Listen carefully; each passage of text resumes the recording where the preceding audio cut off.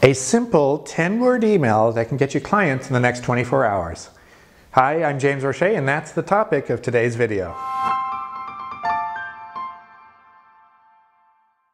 This is such a beautifully elegant marketing strategy that you can use as soon as this video is over and I think you'll be very surprised at the kind of uh, response and results that you can get from this very elegant marketing strategy. So the reason why this works is you're sending a 10 word email out and it's like a spark.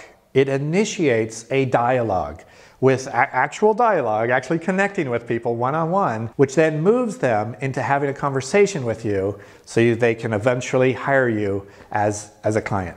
This whole strategy is very simple and can happen very quickly, and there are three steps to the whole process. So let's break it down and I'll show you exactly how to do this. So step one is you send this 10 word email. Now, here's what the email says. And this is so, so elegantly simple, you'll be shocked. In the subject line, not in the body of the email, in the subject line, you simply say, hey, are you still interested in blank? Now, what that blank is, that's the outcome that you, you deliver in your, your service or your product. In other words, let's say you're a weight loss coach. Hey, are you still interested in losing 10 pounds? If you're a bookkeeper, hey, are you still interested in saving on your taxes? Uh, if you're a business coach, hey, are you still interested in getting more clients? That blank, for you, you got to think about what it is in your business, but it's the outcome that, that you help people achieve in your business or your service. So that's the subject line of this email. In the body of the email, keep it really, really simple. You're basically saying, reply and let me know. And then your signature. that's it. That's it, 10 words or so. hey, are you still interested in blank? That's the subject line. The body of the email is reply and let me know. Now, obviously, you know, your situation might be a little different, but I'm giving you the spirit of what to say in this email. Uh, what it is literally you're going to say, you have to adjust to the context of your situation. If you're in corporate or you're dealing with lawyers or something, maybe you use a little more different language. But the idea is keep it so simple and direct because all you're doing is you're just casting a line out and you're sending this out to certain people and you're going to see who bites, who responds. Whoever's going to respond to this is interested in blank, the outcome that you help do in your business, right?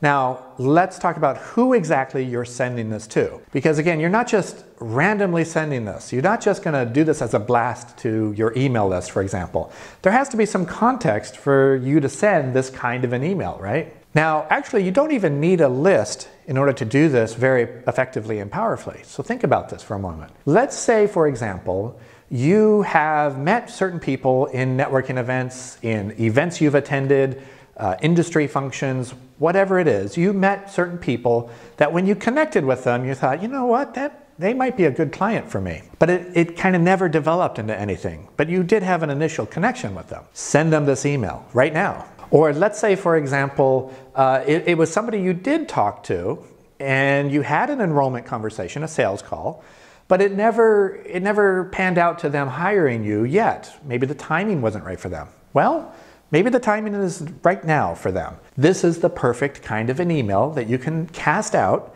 to those kind of people and see, hey, are they still interested in losing that 10 pounds, in, in improving their marriage? Whatever it is. This will help you filter, cipher who is interested still in those connections, those personal connections that you've made in the past. Now, here's a way you can use this online as an autoresponder. So let's say, for example, on your website, you have some sort of a free offer, uh, a special report, an audio, or you can use this when you give a teleseminar or a webinar. After the natural sequence of that, that sequence you give, let's say they get a, a special report, they download it, maybe you have a couple follow-up emails. After a few days break from that, send this email. Or, for example, let's say they attended a webinar and you, you're going to have a natural email sequence that happens afterward. Give it a break for a few days, maybe a week, then send this email. What's going to happen though, just as a warning, is you're now sending this out to a broadcast to more people and they will respond. They're going to respond with a personal email back to you and it initiates this dialogue. So this is especially effective if you're looking to, for example, get one-on-one -on -one clients. And you're going to be dialoguing and actually talking to these people. So that's step one, is simply send this email out and think about who you're sending it to. Now, what's going to happen is naturally you're going to go to step two, which is initiate an email dialogue with the people. So the people who do respond to you from that initial 10 word email, they're the ones interested, like I said. So that initiates a back and forth email conversation. So for example, they might come back and say, well, yes, I am interested. And that's pretty much it. That might be what all that they say.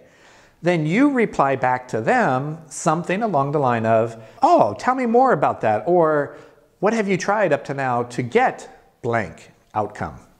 Um, in other words, you're, you're just starting a back and forth email dialogue as a friendly conversation. Don't, you're not trying to push anything, you're not trying to sell anything. You, you have to come from the energy and the space of being genuinely curious about, oh, they are still interested in this outcome, which you know a lot about. I, I'm curious, you know, tell me more about what you've tried to get this outcome or you know tell me more about what you're working towards or why is that important to you? Again you have to dance with this part of it. This is where the art of it comes in and do what feels and and it feels natural to you and comes naturally to you. But basically you're going to have maybe a few email back and forths with this person. And then at some point you're going to say this one statement in this dialogue That'll move it into step three of this process. And that statement is, you know, I have a lot of ideas and resources that might really help you. We should get on the phone and talk about this.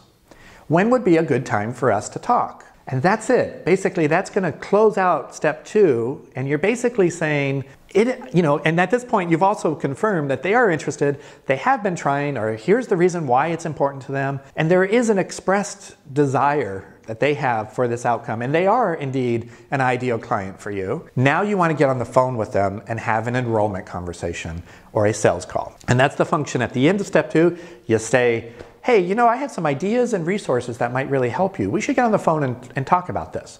Right? Now we move on to, to step three, and that is have that enrollment conversation, which is the classic sales call that you would normally do in your business to, to close a client, to connect with a client, find out what's important to them, why are, they, why are they motivated to have this outcome, how can you help them, and very naturally, very conversationally, bring them to the awareness that you can help them get that outcome. And then you close the sale. You make that sale and they hire you. That's the whole three step process. Again, so elegant, so simple, right?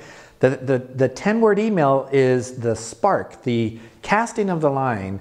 And the people, only the people who are really interested are the ones who will really respond to you. And they're basically stepping towards you. They're raising their hand and saying, I am interested in that topic. I do struggle with this. I would like to have resolution on this challenge that I have. Let's, then you initiate this dialogue. Then you get on the phone with them and then they become your client. So I highly encourage you to cast that email out to the appropriate people in your, your life and the, the connections you've made in the past right now, and just watch what happens. You'll be amazed at how elegant, how simple this process is. Because here's the principle that guides this. It's about personal connection. You're using an online tool via email to initiate a personal contact, a conversation with those people who are expressing an interest in the outcome that you have helped them achieve. That's the beauty of this strategy, and that's the beauty of good marketing. That's it. I encourage you to use it. Make your comments below. I'm curious if you have any questions or comments that you'd like to say about this, or try this technique. Share the results of what happens for you uh, below on the comments. We'd love to hear from you. Okay, this is James Roche signing off. Thank you.